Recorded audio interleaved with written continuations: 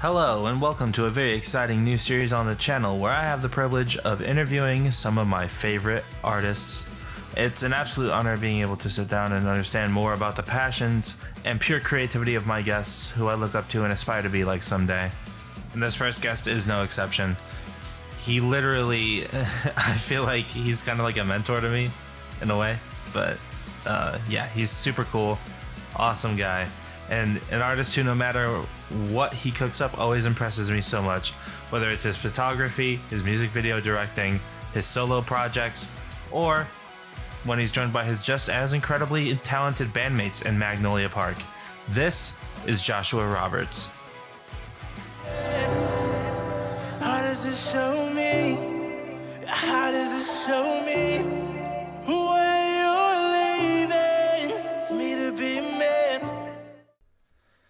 Yo, what's going on? Uh, what is up? What's going on? Nothing much, man. Just uh, wanted to sit down and talk with you because you know you are my first guest on the show, and yeah, uh, yeah. Thank you for having me. Thank you, thank you for having me be the first too. Yeah, man. I can't wait to chop it up. It's gonna be awesome. Hell yeah, dude. So, I had a lot of friends who I got into uh, to show like your music and stuff too. Yeah. And a lot of them actually had some pretty interesting questions for you as well. So I'm gonna Okay. read some of those as well. But yeah. Right. So the Yeah, first. Yeah, the let's answer these first one, questions. the very first one was Oh, well, by my friend, my friend Kevin. okay. What up, Kevin? How's it going? Shout out to Kevin. Shout out, to Kevin. All right, so he wanted to know because I obviously I showed him your uh your guys' Halloween mixtape one to start with, Okay. and Mhm. he was he liked it, but he was like it's a bit too pop because he's more into like a rock. He's a rock metal guy. So when, Okay. he, when he first heard "Do or Die," he like Mhm. lost his shit.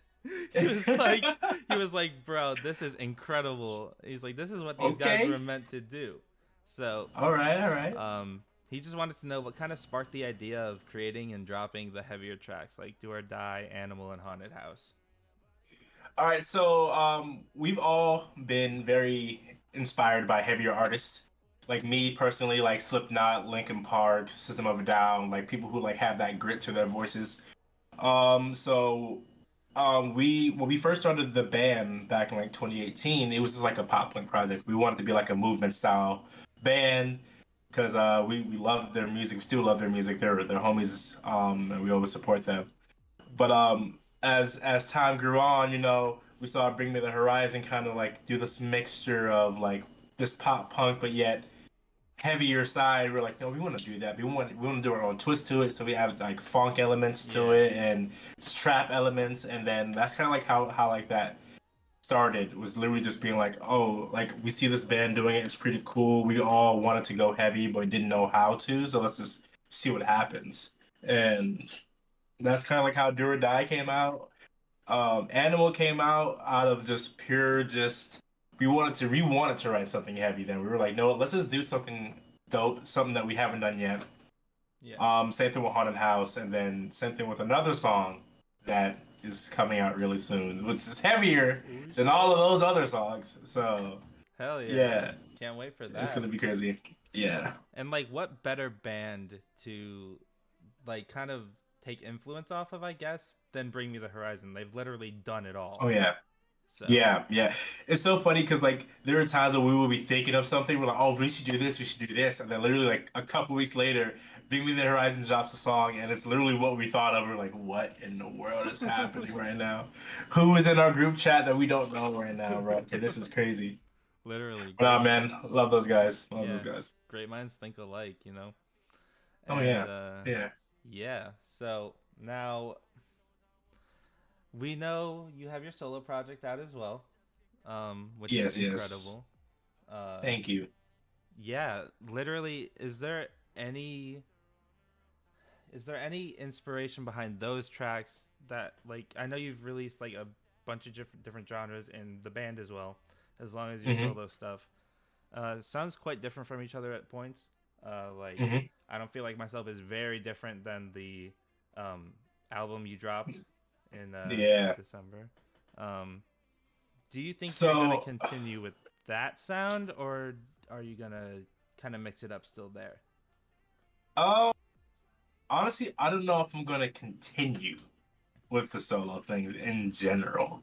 Yeah. Uh, it, it was a fun process. Don't get me wrong. It was really fun. Um, I enjoyed it. I, it was a lot of a lot of creative creative uh, juices flowing. But like, it kind of takes a back seat with the other stuff that's going on. Unfortunately. Yeah. Um, so like, it does take a lot out of you when like you know the project's good, you know the songs are good, but like the the retention and the and the and the um support really like is it f- as there as it is with the full band stuff. Mhm. And then like right after we right after I dropped that, we were like, oh yeah, let's go back into the studio, let's work on something new. So we've been doing that. So I really haven't really had time to decide whether or not I'm going to continue doing the solo music or not. But if I do, trust me, you'll be the first one to know. Oh hell yeah, bro! I Yeah, yeah, appreciate yeah. that. No Um, problem. So you're mentioning the studio a lot. Been in there Mhm. cooking. Um, Yeah, we've been, we've been cooking a little bit, just a little bit. so I guess my question is, how do you find time to do all your other like hobbies and side stuff if you're in the studio so much? Like it seems like if you're not touring, if you're not, you know, in the studio, like it seems like you have no time whatsoever. You like you guys are on tour Oh, man. constantly. And, We like, we are on tour constantly. Yes. Um I think I think for me is just like just time management really helps. I know that we're in the studio from this time to this time every day. So I'm like, all right, cool. I can do a shoot like probably before this or after this or like when I'm on when we're on lunch, I can go there and do that. Um it just all depends on on what needs to be done, really. Um so it's it's manageable. It's definitely manageable for sure. That's yeah, that's good to hear because I like I could imagine like myself in like that type of schedule and like Mhm. being completely stressed out like mo- like It's a- mentally it's- drained. Yeah, it's a brutal schedule. Don't get me wrong, it is it's definitely brutal, especially like when you're in that creative space for so long with other other personalities, like like budding ideas and stuff like that. It gets it gets a lot sometimes, but you know, Mm, just gotta rock with it, roll with the punches. yeah. All right. So that brings me to my next question, which is what are some of your most amazing tour memories that you have? Ooh, um, definitely Australia was freaking crazy, dude. I think that's like the craziest crowd we've ever done. Um, especially in Brisbane, dude. Brisbane showed out. It was so incredible. It Like even sad. hop, like even hopping, hopping in the crowd during the performance and still playing, and everyone's like singing along and having fun, crowd surfing. It was like, I, it, it was the closest thing to to what I would think Woodstock would be, Oh, hell in my opinion. So I think that I think that was pretty sick. Dude, it, it looked like so much fun. Oh my god. Oh, yeah. yeah. It was crazy, dude. I can't like it makes us really want to go back and, and play more shows out there. Um, because it was it was just amazing. We didn't have a, a, a bad time there. Everything was so like fun and energetic the entire time and it was vibe, man. It was a big vibe. Dude, yeah. Um I feel like that's just kind of like how it goes when bands from wherever they're from go to like other places because like they don't typically see those bands as often obviously. And it's like Mhm. just absolutely like the crowd just goes wild for them, you know? Like I feel like that's how like bands from like here like right now like with Bad Omens in the UK right now with Bring Me Mhm. but it's like oh my gosh i could only imagine like seeing a band like bring me the horizon like here like i feel like oh my gosh that would be crazy you know That would be so crazy. but uh all right let's see hmm oh yeah here's another one from another friend um you know you stream on twitch you play video games um, Yeah, yeah.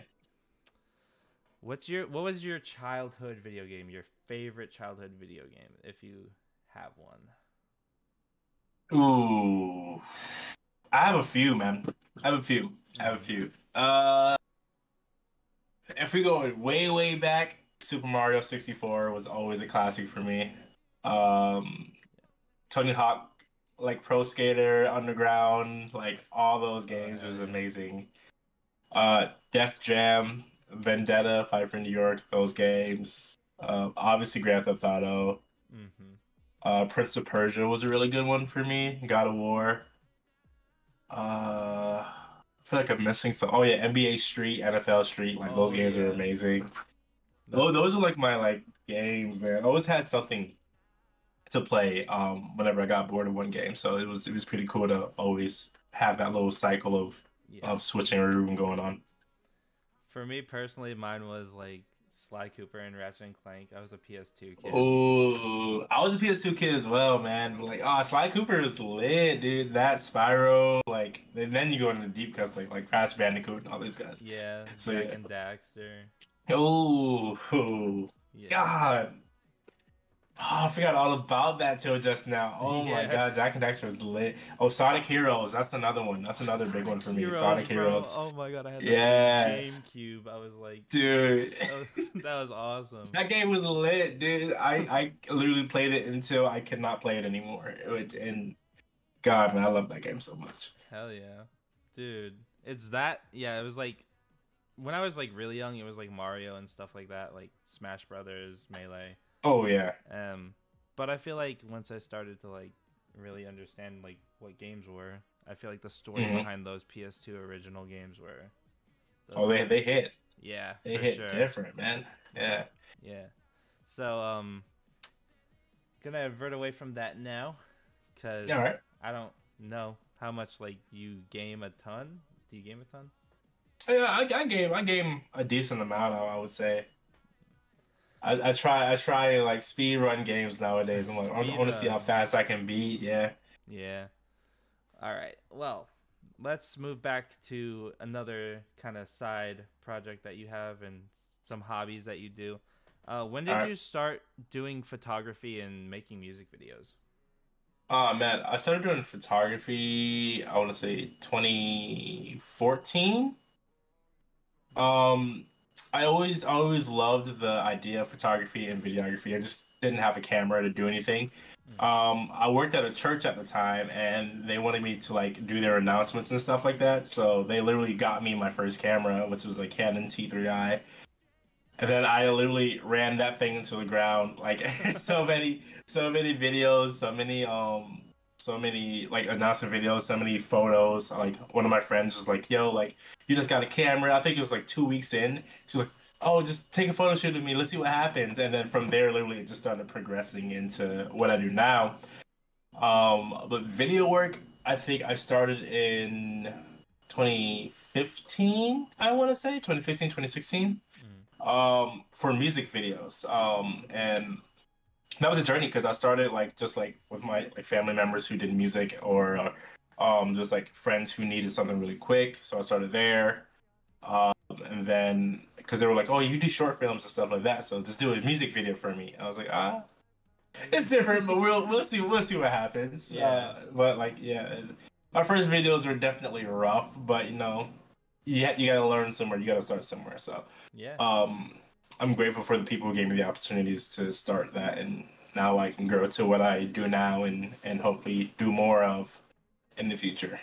Dude, for sure. Some of your work, like like that I've seen that you've shown, like it's Mhm. absolutely insane. Like it's so good. Thank you, thank you, thank you. People are always shocked too, like whenever they're like, "Oh, like what do you use for your like your photo shoot stuff?" Like, they're like, "I just use natural light, like whatever light's there, I just kind of just thing make it work." And then was like, "You don't use like modifiers? You don't use that?" I'm like, "Nah, not really. I don't. I don't really." Yeah, that, I don't need that to, makes it even more impressive, honestly. Yeah, it's, it's wild. It's wild. Thank Um, you, thank you. Do you have a favorite music video that you've shot? Ooh, favorite music video that I personally have shot. Uh, I did a video, I think it was 20, 2016, I think it was, from a band called The Spring. It's like an indie band, and it's, it's a song is called Colors of Consciousness. And it's such like an eclectic video. I loved it so much. I wish I can do more like just ratty ideas like that again Mm-hmm. uh, because it was it was just so fun to do, so fun to create. Um, yeah, I think that one would be my favorite. Um, that or Broadsides. Uh, one last time. That was a that was a really good one that I did. Yeah. Um, and obviously fell in love in Halloween, Mag Park. Like That one beat- is one of my beat- favorites. I'm not gonna lie. Thank you. Thank you, thank you. Like just being able to like literally create a visual for your own project and like that that's you're doing is something something special about that. Like so Hey. whew, Yeah. yeah, that's definitely some. Hell yeah, dude. Mm. All right, let's see. Do I have any more questions from friends? Is there anyone that helped you get on the track that led to where you're at now? Say that one more time, sorry. Are there is there anyone that helped you get on track to that led to where you're at right now? Oh man, people people who who who drop knowledge on me, man. Um, I would say my old youth pastor, actually, uh, Mike Mike Van Kuren, he he helped me a lot. I was a troubled child, so he helped me a lot get get on that. Um, he actually was the one who who showed me my my who got me my first guitar, and was like like you you should play like just see what happens, learn.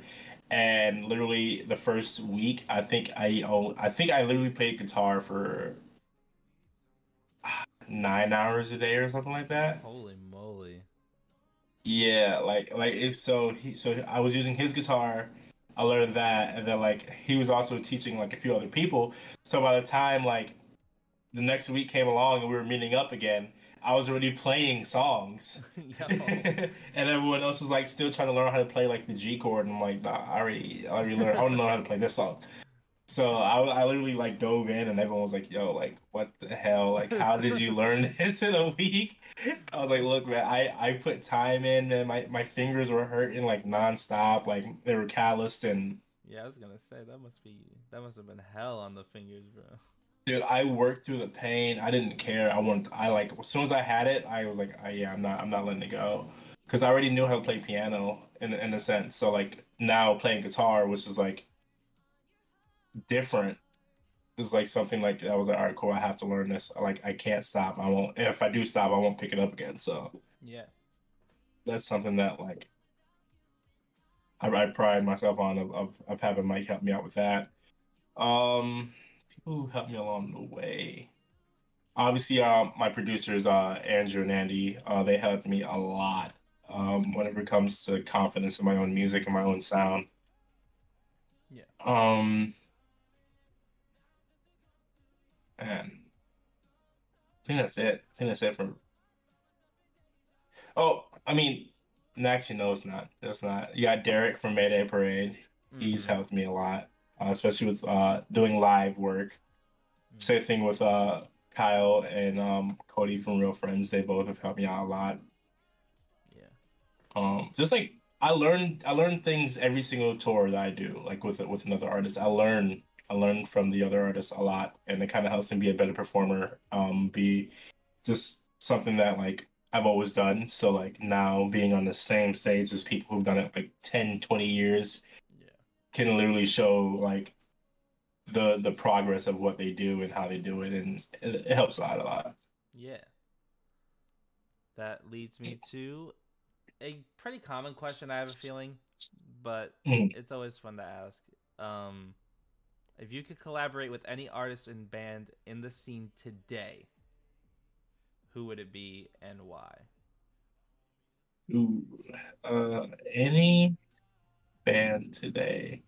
See, people would expect me to say Ollie from Bring Me the Horizon. People would expect me to say that. I gotta, I gotta, I gotta say the unexpected sometimes. Uh, I'd probably say Patrick from Movements.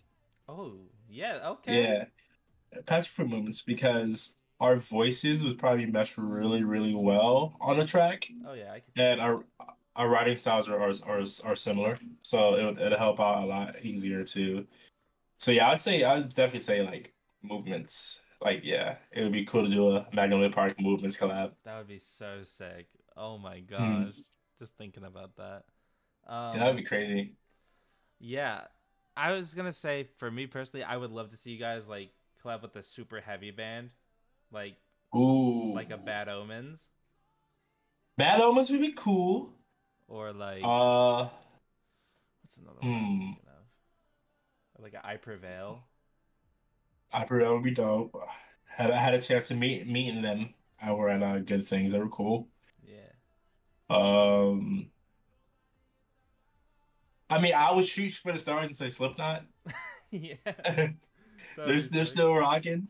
That'd be cool. Or Korn even. Korn would be really really sick to do like something something funky with it, you know? Yeah. Like I like if I want to do something with a heavy band, I like I want to make sure that it's something that like it's so out of the ordinary for for like both sides of the genre Oh, yeah. listening. They're like, "Oh, what? What is this? And why do I like it?" Like I think that'd be super sick to do. Dude, hell yeah. It's like when um it's like we're seeing like all these like collabs with like pop stars now with like metal bands, you know, like Yeah. Bring Me and Ed Sheeran and um Megan Thee Stallion and Spiritbox. Like that one was crazy. No one saw that one coming. Like That was not on my bucket list, man. I was like, "What in the world just happened?" it Oh, what? it was so sick though. It was like it works. Like, Yeah, in a weird way it worked, and that, that's that's what I mean. Like like if I want to pick a heavier artist, it has to be something in such a weird way mhm. that people are like, "What did I just listen to, and why did it work?" yeah. Like that's sure. that's something that that that I I would need to happen. Oh, that gives me an idea. Like Ice Nine Kills. Do like a Halloween track, since y'all are about that Mhm. as well. You know. Look, man, if Ice Nine would ever do a song with us, I think it'll be crazy. Yeah, yeah, dude. I would think it would be. I think it would go insane.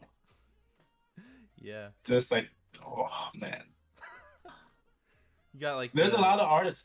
There's a lot of artists out there that, that are really good at what they do, and like, just to be, I would be blessed to do a song with any of them. Like honestly, like if most of us are white, we'd be like, hey, let's do a song together. Like yes, let's let's Yeah, fucking yeah. let's let's go balls to the wall. Let's do something crazy. You know what I'm saying? Like, Mhm. or even Ice Nine or, or or anyone else. It's just the fact of like whoever wants to collaborate with us. Since we are such a, a, a out of the box type of band, like we're not we're not a conventional style band. I mean, I mean, like I, I'd take anything. I'd be honored to to collab with anyone, really. Yeah. Love to love to see some more collabs in the future. Hell yeah, dude. Hopefully, it's coming soon. Hopefully, I don't know, but you know, hopefully, Yeah. hopefully, man. All right. Um, I think we have time for one more. All right. So, uh, this one I'm pretty sure is also very common. but, Okay. uh, what's one piece of advice that you would give to up and coming artists who look up to you? Ooh, one piece of advice. Uh, I think I was telling you this actually. Uh, like, like, don't don't be afraid to let your talent show. I mean, like, you're you're you're in a position for a reason, so utilize that position to the to the utmost. Like, always always do what you believe in, and don't let anyone who isn't doing what you're doing dictate how you should do it or what you should be doing because it's your dream, it's your passion, and only you will solve the issues that need to be solved to make sure that your passion gets through. Yeah. So always believe in yourself. And I know that that is the hardest thing to do at times, but always believe in yourself and don't let anyone tell you about your dreams because they're your dreams for a reason, not theirs. Hell yeah, dude. Thank you so much for joining me. Dude, anytime, bro. It's it anytime. so much, and hopefully Mm. we can get the whole band on here sometime. Yeah, for sure, man, for sure.